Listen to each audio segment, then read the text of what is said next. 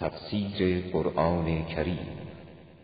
اعوذ بالله من الشیطان الرجیم بسم الله الرحمن الرحیم الحمد لله رب العالمین بعدد ما احاط به علمه سر سفره قرآن هستیم آیه به آیه تلاوت میشه ما هم هر آیه رو چند جمله ای تفسیر میگیم تفسیر قطره ای روان ساده فشرده از اول که شروع کردیم به جز 23 سوره یاسین اواخر سوره یاسین هستیم آیه 77 78 هفتاد 79 80 این چهار تا آیه رو با هم بشنوید اما آیه 77 اولم یر الانسان انا خلقناه من نطفت فاذا هو خصیم مبین آیا انسان نمی نمی نمیاندیشه که ما رو از نطفه مقدار آفریدیم حالا برای ما ستیز جویی آشکار میکنه نمیدونه از یک تکسلول و اسپرم قرآن راجع به خلقت انسان اول میگه که لم یک شیعا هیچ هیچ هیچ نبوده نبوده نبوده هیچ یا یه دیگه میگه خب بعدا هم چه شی شد لم یک شیعا مذکور اول میگه لم یک ها بعد میگه لم یک مذکور ها چیز قابل ذکر وقتی هم قابل ذکر شد ما مهین من نطفه من منی یمنا من سرسال کلفخار من همه ام مسلون از چی؟ کجا رفتیم؟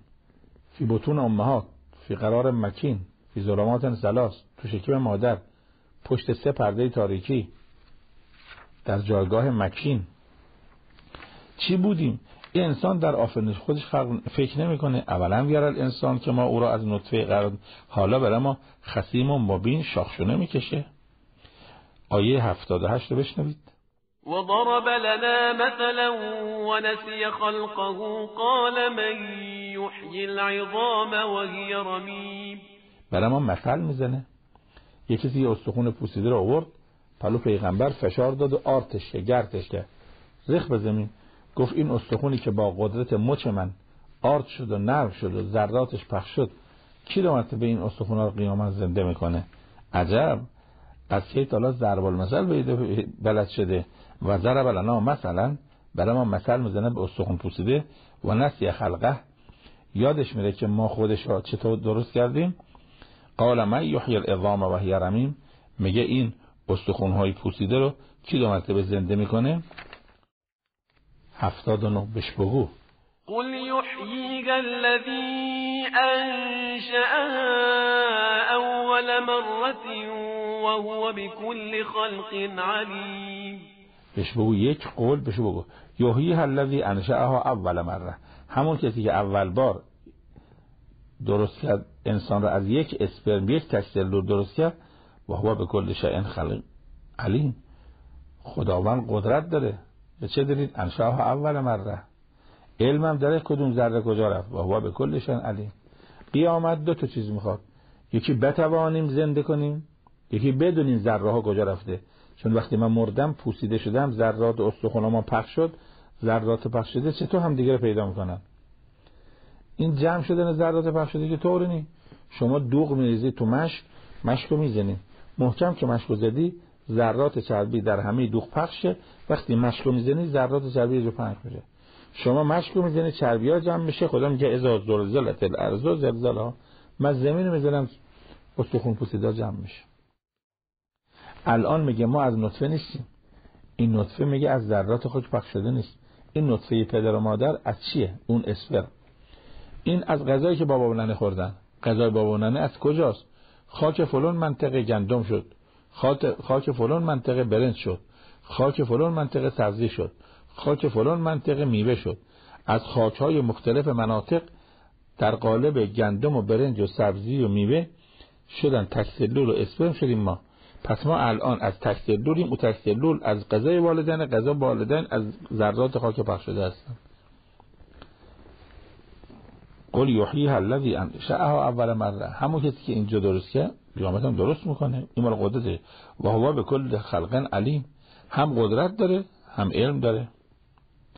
حالا نمونه برات بگم یه نمونه برای خودت گفتم که همون که خودت درست کرد دو مرتبه درست کنه یه نمونه دیگه از خودت میریم یه خود بالاتر آیه 80 بشنوید الذي جعل لكم من الشجر الأخضر نارا فاذا أنتم منه توقدون خدایی که برای شما از درخت سبز آتش آفرید در بین عرب ها دو تا چوب بود که اینا به نام مرخ و اقا افار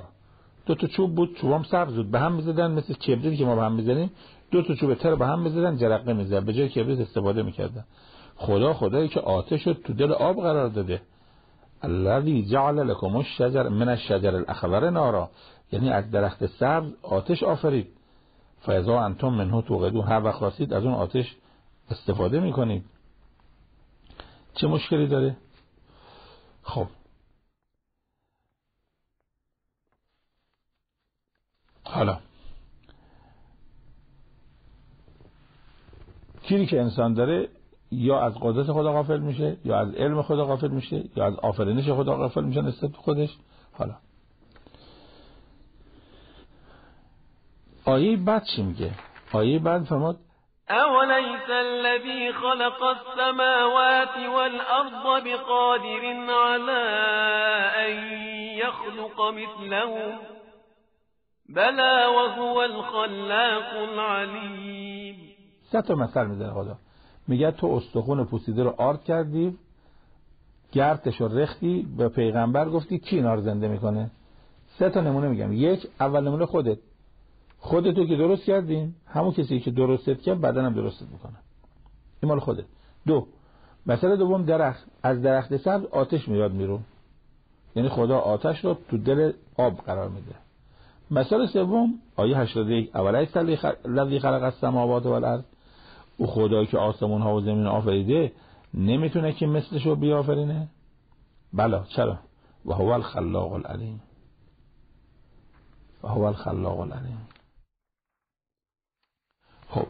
بنابراین شک نکنید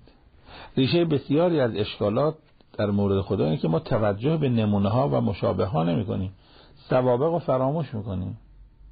سوابق رو فراموش میکنیم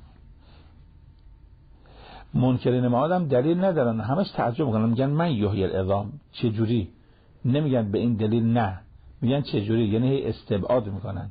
دلیل برای نفی ندارن و این معلوم میشه در اسلام آزادی به قدریه که منکر خدا و معاد میاد با پیغمبر گفتگو میکنه یعنی راه مهاجه بازه منکر خدا منکر معاد میاد قشنگ برای پیغمبر ضرب المثل میاره دو استخون آرد میکنه دو یعنی این آزادی گفتگو بوده و علتش اینه که انسان قدرت خدا را با قدرت خودش مقایسه میکنه چون قدرت خودش رو ضعیف میدونه فکر کنه خدام نمیتونه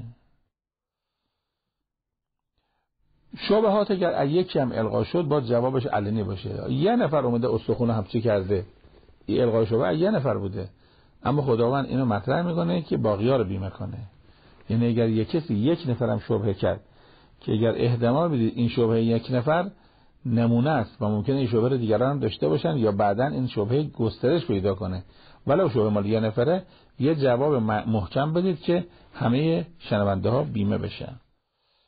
از این معلوم میشه که معاد جسمانیه میگه من یه هیل اضام یه استخون پوستی داد و مرتبه زنده میشه معاد جسمانیه که همین ذرات از همین خاک استفاده میشن بسیار خوب خدا که جمع بین ازداد میکنه آب و آتش با هم زدن بل خدا دو تا درخت قرار میده چوبش به هم بخوره برق میزنه این یعنی همه خدایی که ازداد رو جمع میکنه میتونه ذرات رو جمع کنه خیلی خوب اینا سوال کردن من یحیی الازام کی استخون پوستدار زنده میکنه خدا میگه اولیس الذی خلق السماوات یعنی سوال به سوال جواب داد میگه از کجا میتونی مثلا پول به من بدی میگم میگه فلان صحنه پولت بد ندادم این سوال که اولی الذی این سواله او سوال که من یا الازام خدام با سوال جواب میده اولی الذی او کسی آسمان و زمین آفریده قدرت نداره که دو مرتبه بیافرینه یعنی سوال با سوال جواب میده و سوال یه راهیه برای که وجدان ها بیدار بشه فطرت ها شکوفا بشه خب چون چه صد آمد نود هم پیش ما. او کسی که آسمان و زمین آفریده تو یه انسان چند کیلویی هم خلق میکنه انتم اشد و خلقن ام السما خداوند آسمون های بی بزرگی رو آفرید وقت در آفرینش تو عاجزه بله خب کار خدا خلق کردنه چه در دنیا چه در آخرت و خلاق خلاق غیر خالقه خالق اینه یعنی آفرید خلاق این یعنی دائما آفرینه. کار خدا آفرین یا در دنیا خلق میکنه یا در آخرت دو مرتبه خلق میکنه خیلی این آیه 81 هم تمام و السلام علیکم و رحمت الله